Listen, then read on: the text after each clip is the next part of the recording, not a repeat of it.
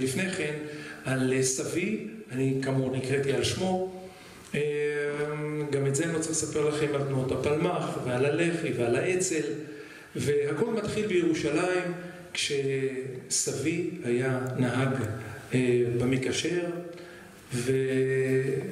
והוא יום אחד יוצא אל הקו הקבוע שלו בירושלים, הוא לוקח את האוטובוס וכשהוא לא מבחין בעצם שעולים לאוטובוס שלושה אנשים שלבושים במעילים שחורים ארוכים ממש עד לכאן, אתם זוכרים את המעילים האלה? וקוראים מגבעת ומתיישבים בספסל האחורי של האוטובוס ובעצם ממתינים להגיע לתחנה הסופית, תחנה האחרונה כי הם רוצים שכל הנוסעים ירדו מהאוטובוס כשהנוסעים יורדים מהאוטובוס הם מתקרבים אליו והרעיון הוא מתחיל כשחודש לפני כן פונים אליו מהלח"י ומבקשים שהוא יצטרף לשורות של הלח"י. והוא אומר, תראו, עם כל הכבוד לי קצת קשה כי יש לי שני ילדים קטנים בבית. ובעצם הוא סירב. אותם אנשים מתקרבים אליו ופותחים את המעילים ומתחת למעילים מתגלים כלי ירייה אוטומטיים, חזקים, כבדים מכוונים אליו את הנשק ואומרים לו כעת אתה עובר ברחוב יפו. והוא כבר הבין מה עומד מאחורי העניין משום שברחוב יפו היו גם הרבה בתי קפה, עסקים של ערבים והם היו יושבים ממש קרוב לשפת המדרכה על שולחנות מאולתרים ומשחקים שש בש ואיימו עליו ואמרו לו אתה עכשיו צריך לעבור באותו רחוב כשהוא מתחיל לעבור ברחוב יפו הם פותחים את החלונות ופשוט מרססים את כל היושבים על המדרכה. ואתם יודעים מה קורה כשאתה יורה מתוך אוטובוס או רכב לא מזהים את מי שנוהג וגם לא מזהים את מי שיורה אבל במקרה הזה הם ירו מהצד וראו בדיוק מי נהג והם סימנו אותו ואמרו לו מעכשיו אתה בעל כוחך? מצטרף אלינו אל הלח"י. לח"י זה אומר שברחוב שבו אבי גר ברחוב רש"י, תחכימוני בירושלים רחוב אחד מתחת לשוק מחנה יהודה ברחוב תחכימוני שמונה יש שם סליק וכל המפגשים נעשים שם בעצם כל המפגשים של הלח"י נעשים באותו בית כשאבי כילד קטן יושב שם וצופה ורואה אותם יוצאים אל הפעולות וחוזרים ומתכננים. זה קצת רקע שנתתי לכם באשר לחיבור לשבט הר הצופים סבי בעצם נסע לבקר סבי נסע לבקר את דודו בבית החולים הר הצופים שיירה שיצאה מסולל בונה ממרכז העיר בתוכה גם כידוע לכם צופים ואחיות והוא נהג את אחד המשוריינים וכשהשיירה, את זה אני בטח לא צריך לספר לכם, הגיעה לאזור שייח ג'ראח היא מותקפת כשהמון ערבי יצא מהכפר והחל יורה על השיירה ואותי זה מסכן כי ישבתי כאן וממש בשקיקה האזנתי לכל הדברים שנאמרו כאן כי יש הרבה דברים שאני לא יודע כי אני שמעתי רק דברים מפי סבתי ואבי ומה שידוע לנו שכשהמשוריינים החלו בוערים ואנשים ניסו להינצל, להציל את עצמם אז בתוכם גם סבא שלי שקפץ מהמשוריין וקפץ מעבר לגדר שנמצאת בצד ימין, לצד אנדרטת הנופלים ובעצם הוא ניצל. וכשהוא שוכב מעבר לגדר הוא שומע בין הירי וההמולה חבר צועק לו מהמשוריין אהרון אני נשרף. הוא לא חשב פעמיים ושר על עקבותיו בין הכדורים ששרקו ונכנס למשוריין הבוער והוציא את החבר על כתפו אבל כשהוא עבר את הגדר שוב הוא נפצע ואיבד הרבה דם ובכוחות אחרונים הוא זכה לבית החולים הר הצופים. שערים היו כמובן סגורים, נעולים כי פחדו מהתקפות. וכששמעו שהוא מתעקש הם הטו אוזן והחליפו איתו מספר משפטים הבינו שזה אחד משלנו והכניסו אותו פנימה. הוא החזיק מעמד יומיים ונפטר ואני זוכר מאבי שעוד ככה הוא החזיק מעמד יומיים שלושה ונפטר המשפחה מכאן נקלעה, אני חוזר על הסיפור האישי שלנו גם למצוקה כלכלית וגם למצוקה נפשית ולא היה פתאום מי שיפרנס בבית ועל כן אבי עזב את ספסל הלימודים כנער בבית הספר בית הכרם בירושלים בגיל מאוד צעיר ונכנס לעבוד במקשר לימים מגד במקום אביו.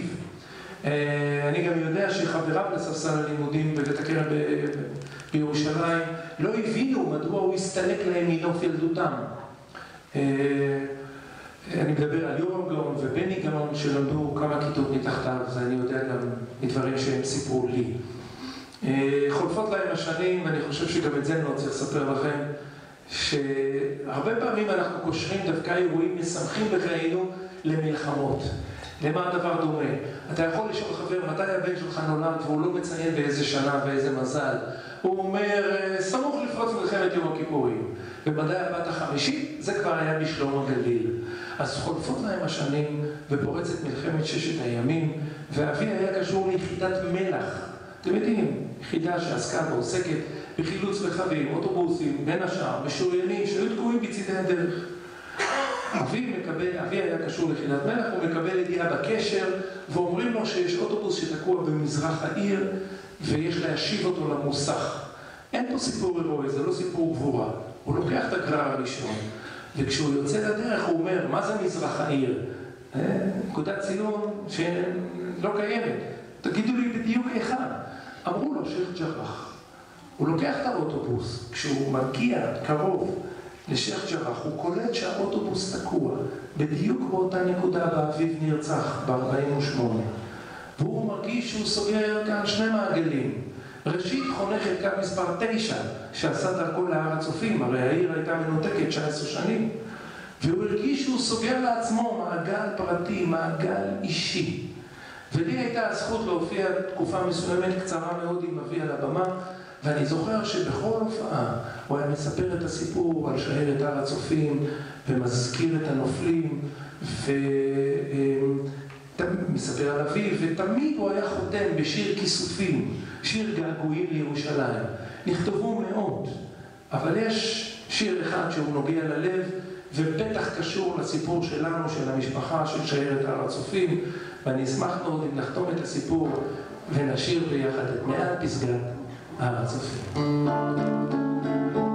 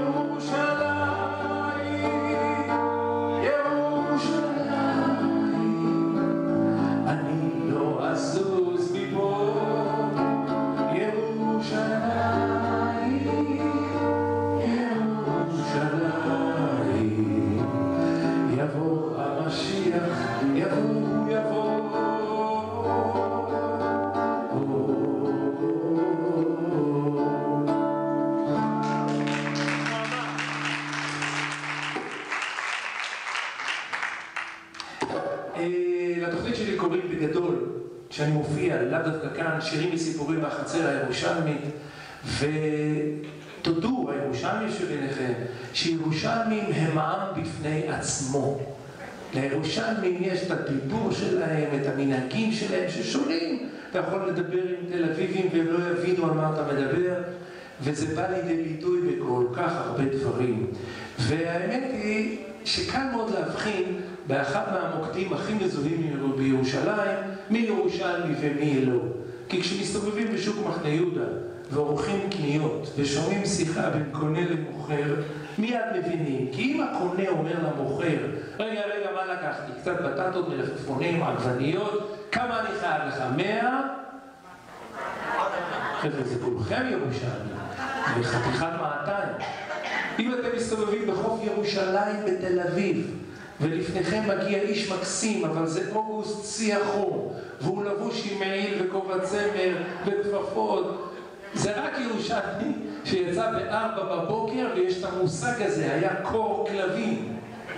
עכשיו אני בעייתי, כי אני נוסטלגיסט מטבעי. אני מהלך בין השכונות, וכל פעם שיש לי אופציה אני מסתובב בירושלים, והבעיה שלי, שאני כל הזמן קודח לילדים שלי ומספר להם על הילדות הירושלמית. עד שהם אומרים, אבא, אתה חופר, אתה חופר, ואכן אני חופר. אני מנסה להסביר להם שבילדות שלי הבתים לא היו נעולים. בשכונת אבו באסל, ואם זה באמת, איפה שזה לא, ובמונטיפיורי בתים היו פתוחים. העניין הוא שקשה להם לתפוס, אתם נועלים היום בתים? האמת היא שפעם לא היה מה לגנוב, אז גם לא נורא אם בתים היו פתוחים. אבל עם השנים נוספו הרב בריח והשריונית והמנעולית והבריונית, ואחר כך באו הסורגים והאזעקות, והיום אתם יודעים שאתם יכולים לטוס לשונזליזה או לפיזה, ולראות משם דרך הסלולרי במצלמות את הבית. אתם רואים מי נכנס, מה הוא לקח, וכבר עם הטלפון עם השמאי והביטוח. עכשיו, גם צורת הבילוי, אני מנסה להסביר לילדים שלי, הייתה אחרת. היום כשהילדים והנכדים אומרים לכם בואו לבלות, זה ברור לכם שזה בתוך קניון ממוזג, כי הם מפונקים וגם צריך שחנות תרדוף ויזה, שזה יהיה אחד ליד השני. בילדות שלנו הבילוי הכי גדול היה לרדת העירה בירושלים. לקחת את האוטובוס טייגר התורן ולרדת העירה. והיינו עוברים חנות אחר חנות, וכשהסלים היו נעשים כבדים, חבר'ה זה אמיתי, היינו משאירים נאמר את הסלים בחנות הפרחים, היינו עולים לאוטובוס, וכשהאוטובוס היה מתקרב לחנות הפרחים, הרי כולם הכירו את כולם. היית ניגש לנהג ואמר לו, איציק, תעצור שנייה. הוא היה עוצר. היית יורד למטה, אף אחד באוטובוס לא היה פוצה פה, שלא לומר להתלונן. לא צועק, אני רוצה שוקולד, זה טיסה מיום כלום. שקט, גם לא היה לאן לגלוש ולעשות לייק. והיינו עולים עם הסלים ומפליגים הביתה. אתם מתארים לעצמכם ב-2019, אתם אומרים לנהג, תעצור, יש לי פה סלים לאסוף. מאיזה חלון אתם עפים קודם? זאת השאלה. קדמי או הצדדי? עכשיו, בשכנות אלינו, במסגרת הדלתות הפתוחות, גר סמ"טי ספרדי מהמם. היינו משפחה לכל דבר. הוא אפילו פעם נפגע, כשהוא שמע שאני אומר לאימא שלי, אימא, אני הולך לשכן או לחבר. הוא אמר, אדוני, אנחנו משפחה. הרי את כל הקניות הייתי עושה אצלו. אימא שלי הייתה שולחת אותי למכולת, לחם, אשל, גבינה. אגב, לחם, אתם זוכרים את המושג חצי לחם שחור? אני הייתי חותך בשלושת רבעי. תמיד היה יוצא לי עקום. על כל פנים, השכן הסמ"טי הספרדי מודיע לנו יום אחד שהוא רוצה לעבור לגור באזור אחר בירושלים. לקחנו את זה מאוד קשה, אבל כשעיכלנו, עזרנו לו לארוז את הדברים הגדולים, וכשעוברים דירה אתה אומר זה כבר זמן טוב לעשות סדר בניירת. הוא עושה סדר בניירת, הסמ"טי הספרדי שלנו, והוא מוצא פתק קטן, שכתוב עליו שהוא מסר נעליים לתיקון, רק זה לפני 25 שנה, והוא לא אסף אותה מהסנדלר, אללה יוסטו, איזה שבת הייתה לנו. כל השבת הוא תיאר לנו, איזה שרוכים, איזה נעליים, איזה אור, איזה עקב, איזה, איזה, איזה. אמרנו לו, יורד במדרחוב מחר, לך תראה, אולי זה עוד קיים. התלבש יפה, יורד במרד הרחוב בבן יהודה, לא תאמינו, הוא קולט את אותו שלט של הסנדלר, רק מבוגר ב-25 שנה. אומר לו, תקשיב טוב, כמו עכשיו אני זוכר, מסרתי אצלך נעליים לתיקון ולא אספתי אותם. הוא אומר, אין בעיה, מתי זה השבוע שעבר? לפני שבועיים? הוא אומר לו, לא, לפני 25 שנה. הוא אומר לו, תגיד לי, אתה, אתה בסדר? הוא אומר לו, לא רק שאני בסדר, אני גם מסודר. מוציא הירושלמי את הפתק, נותן לסנדלר, הוא בשוק. אומר לו, תמתין דקותיים, נכנס מאחורי הפרגוד, חוזר, אומר לו, תבוא מחר, יהיה מוכן. זה ירושלים. גדלתי בבית שהתנגנה בו לא רק מוזיקה ישראלית, התנגנה בו גם שירת הלדינו. וכשאני מדבר על הרבה שנים לאחור, ועל התקופות שאנחנו דיברנו עליהן, חלק מהרומנסות ייבאו אותם מעבר לים, וחלק מהרומנסות נכתבו בירושלים, בחצרות, כשאנשים היו יורדות לתלות מאחור את הכביסה למטה, לא במייבש שלנו היום, אלא מאחור, והיו שוטחות, מספרות האחת לשנייה את האהבות, את הצרות, את האכזבות. אז אפשר לחתור ולשיר שיר אחד בלדינו? כן, לא. שניים. השניים זה גם יפה. כי בדרך כלל כששרים את שירת הלדינו, אנשים מחייכים מתנוך לאוזן, כי חושבים שמדובר בשירי אהבה, אבל ממש לא מדובר באכזבות מאהבה. הנה תשאל טובו עזבותיו יותר. אל תשאלו מה הולך שם, אבל השפה מתנגנת ומתרוננת, ויש חיבורים שעדיף גם לא לתרגם. זה כמו שאני שומע חבר מספר למישהו סיפור ברומנית, והם צוחקים, ואני אומר, שתפו אותי, אומרים אין טעם. רק בשפת המקור זה מצלצל ויש פואנטה. אתה מתרגם, איך אומרים במרוקאית? זה נשתהה. לא, לא. עכשיו אתם קהל שוחרי מוזיקה ותרבות, אתם מאזינים היום למוזיקה ברדיו. באיזה שפה גבוהה כותבים היום, נכון? איזה שפה. אנחנו היום ב-top, ב-top אנחנו. הדימויים, אין, אין, אין, אין, אין. אני בחרתי רומנסה מאוד מוכרת ואהובה, בתרגום חופשי היא נקראת היי שלום יקירה, adio kerida. נתחיל מהפזמון לראות שאתם שולטים בעלילה.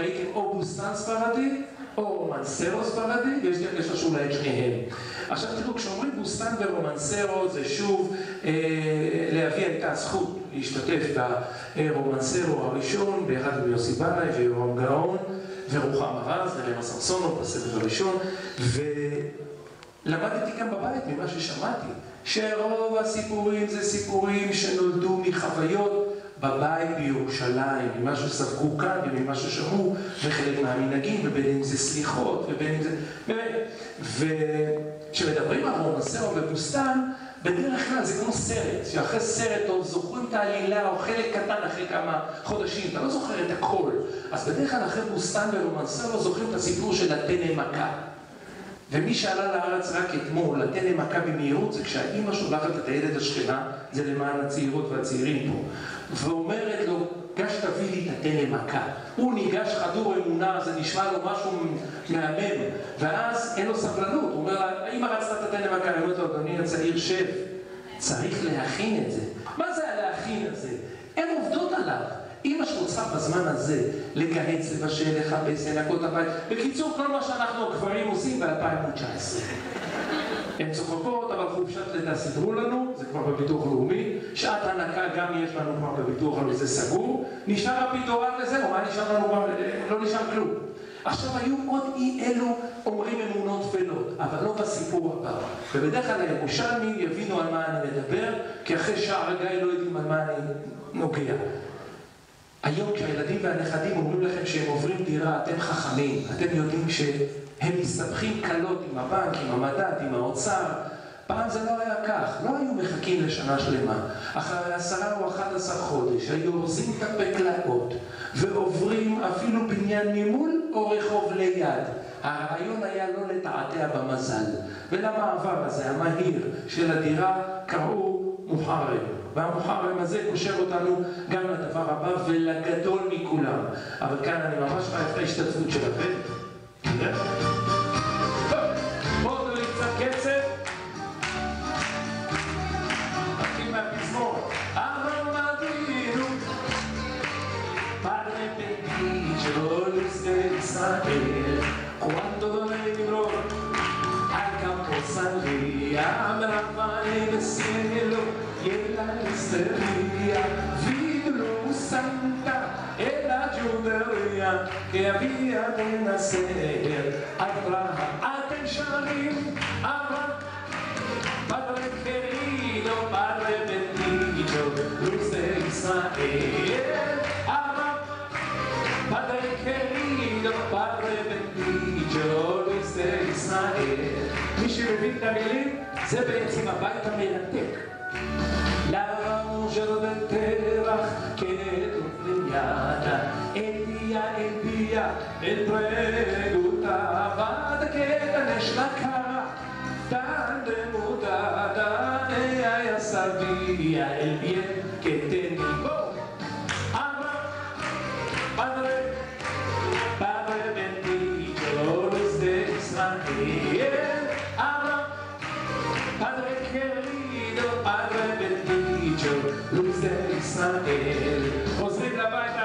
הראשון ופה יחד איתי.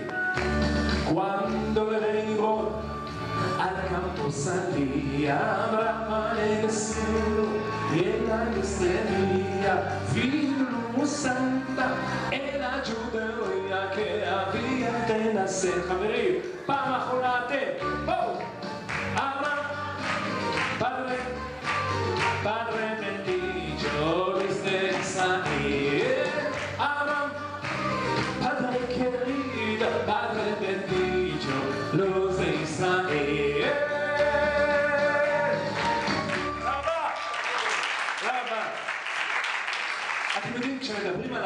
הסמ"טים, על הספרדים, כשמדברים על הבולגרים, היוגוסלבים, הטורקים, מי שכחתי את הבולגרים?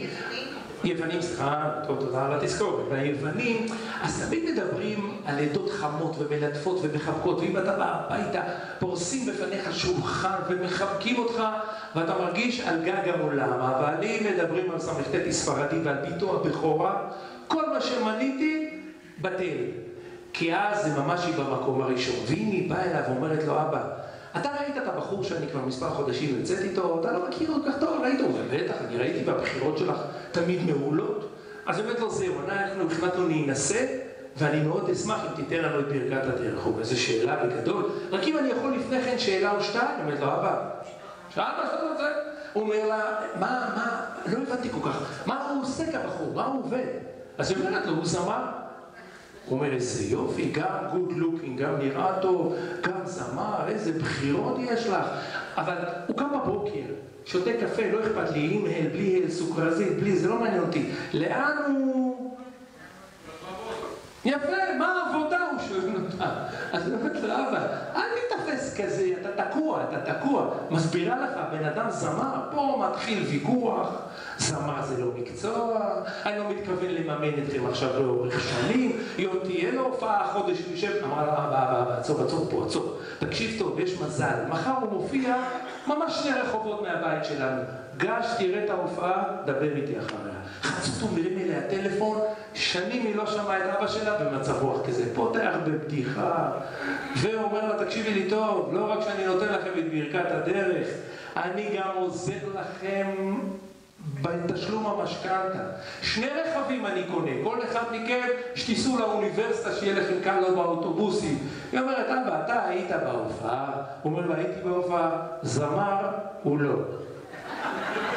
אז זה חשוב לבדוק. חבר'ה, עוד אחד אני גונב איתכם ביחד. יש לי תנועה ימינה-שמאלה, ולראות מה זה חיזור דרך החלון והבלקון בירושלים.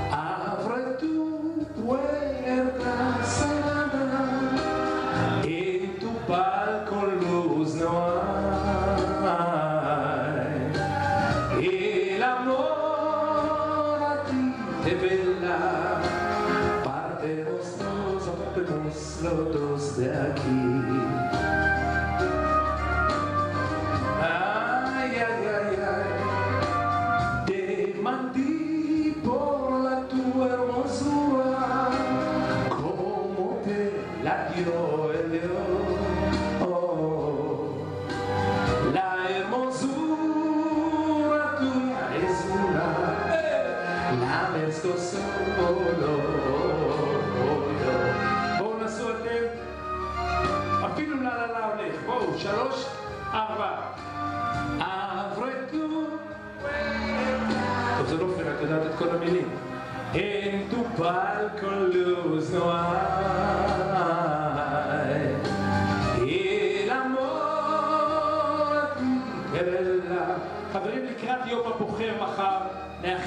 שהכל יעבור בשלום, ולכן בריאות, בריאות, זה הדבר הכי חשוב בחיים. כוס אחת לחיים.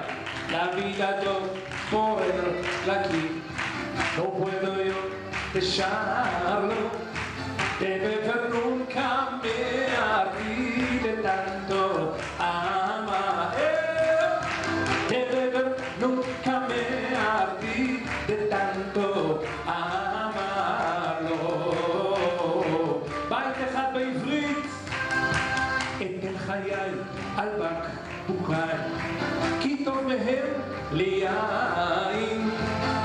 שתיתי עד בלי די, לא מים אלא יין. שתו שתיתי עד בלי די, לא מים אלא יין.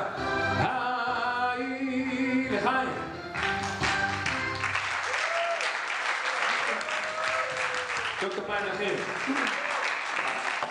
אם אפשר עוד דבר אחד שקשור בירושלים. עובר עכשיו עם המיקרופון ואני שואל אתכם על הילדות שלכם, בין אם נולדתם בטבריה, אילת או כאן בירושלים, אני בטוח, אבל אני משוכנע שכל אחד יפליג בסיפורים אה, מרתקים. כי אנחנו גם נוטים לומר בגילנו שחברים כמו שהיו לנו לא נמצא יותר. היה משהו בחברות האמיתית הזאת. אה, לי למשל יש חבר, דרור אמיתי, שעשינו כברת דרך מאוד מעניינת. זה גנון, חובה, יסודי, תיכון, ואפילו התגייסנו ביחד, עוד כשלשכת הגיוס הייתה ב, באזור... אה, עדיין, עדיין, בחוב רש"י. בחוב רש"י יש עדיין? אולי זה רק קצונה. אה, אוקיי, טוב. נו, אז יופי, אני שמח לשמוע. על כל פנים, הרבה חברויות בצבא, יש להם איזה נתק, כי כל אחד פורס כנפיים. אני מספר לכם על שני ירושלמים, האחד נשאר ירושלמי והשני דני, נעלמו עקבותיו. הירושלמי, כבר חלפו שלושה ארבעה עשורים, מסתובב באמצע השבוע בשוק מחנה יהודה ועורך קניות, פתאום הוא רואה פנים מוכרים. הוא שואל את עצמו, זה הוא, זה לא הוא, זה דני, זה לא דני, הוא אומר, מה יש להפסיד? ניגש אליו, זה דני, הם מתחבקים, ואחרי הלחלוכית בעיניים הוא שואל אותו, לאן נעלמת? הוא אומר, לא, לא נעלמתי. אבל אחרי הצבא עברתי לשפלה, עסק קטן, משפחה, זהו. הוא אומר לו, אז מה אתה עושה פה באמצע השבוע? בשוק מחנה יהודה באמצע היום. הוא אומר לו, תראה, אני אומנם לא גר בעיר, אבל אני קשור אליה בעבותות. אז עשיתי לי איזה מנהג. כל פעם שיש לי אופציה ליום חופש, אני מיד עולה קצת אוויר פסגות, והריחות המשקרים האלה בשוק מחנה הזה גומר אותי. לכן הגדלתי לעשות, הוא אומר לו, ולקחתי כאן מלון, אני לן כאן הלילה, כי מחר אני רוצה לקום לראות איזה בתים נשארו בשכונה, ובית הספר אם הוא קיים, עוצר אותו ירושלמי, אומר לו, תקשיב לי טוב, גם אני מחר לוקח יום חופש לזכר הימים ההם, נסתובב ביחד, והערב אתה מוזמן אליי לארוחת ערב.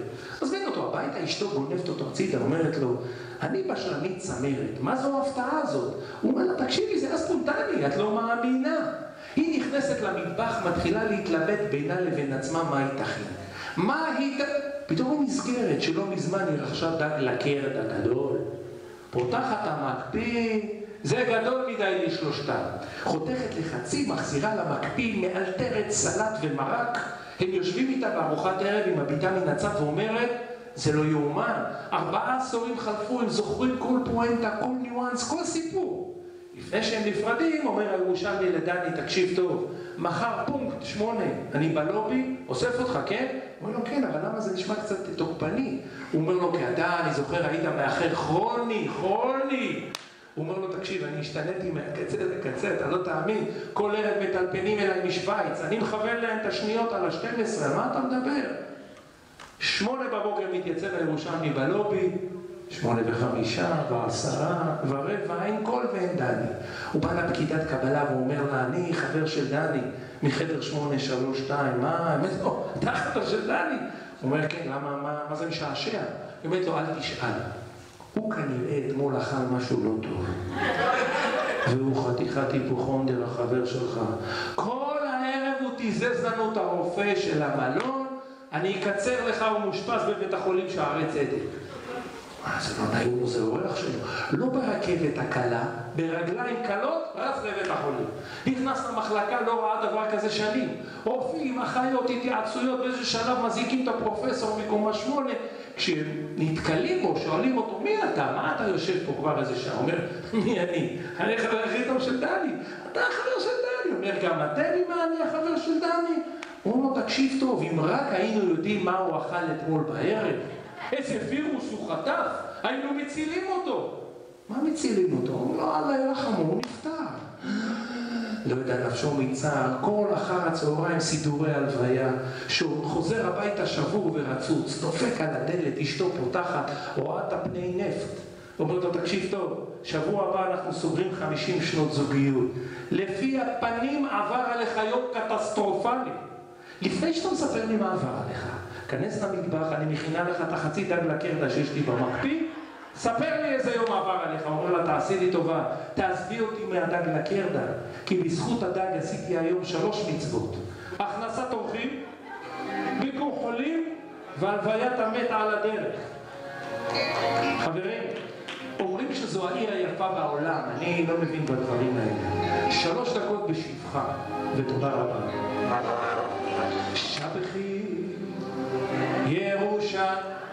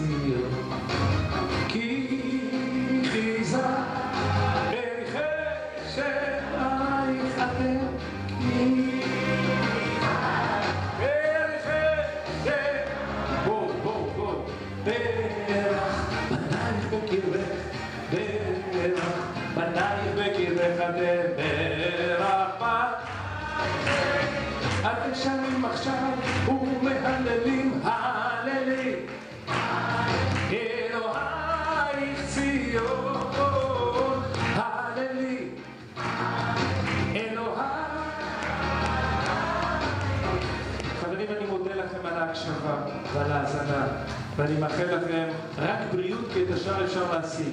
תודה רבה להודיה על ההשתדלות ועל כל המעשים היפים. תודה רבה לכם. בשמחות.